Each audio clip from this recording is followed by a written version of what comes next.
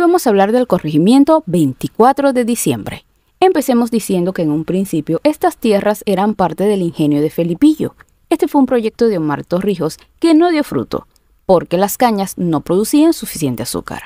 Al cerrar el ingenio, un grupo de personas tomaron la decisión de invadir estas tierras y convertirla en un nuevo poblado. Esto ocurrió un 24 de diciembre de 1978.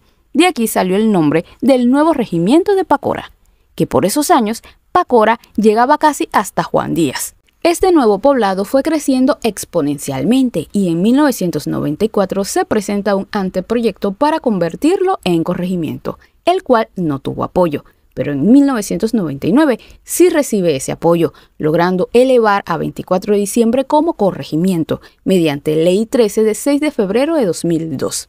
Entre algunas de las comunidades del corregimiento están Felipillo, Santa María, parte de Cerro Azul, Monterrico, Nuevo Tucumán y por supuesto 24 de diciembre. Quiero decirte que durante la elaboración de este video estuve escuchando online 24 de diciembre radio y tiene muy buena música, recomendada. Anuncio publicitario no pagado, pero lo bueno se cuenta. Hasta la próxima.